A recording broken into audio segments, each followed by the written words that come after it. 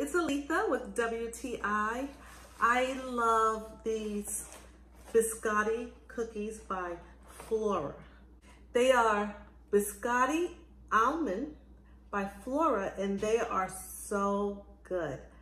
They remind me of back in the day with my grandmother actually. But one thing I really like about it is the way that they're packaged. The foil that it comes in keeps the cookies so nice and crispy and fresh all the time.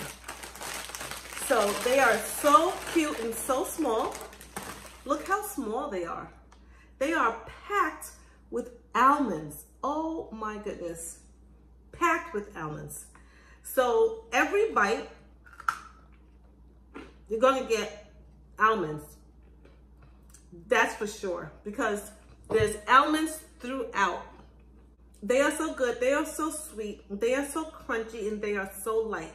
These are the type of cookies or really like biscuits that you can have with a nice hot cup of tea or coffee or even a glass of red wine. It reminds me of Italy because they're from Italy. They are so good. I love them. I highly recommend them. And that is my point of view.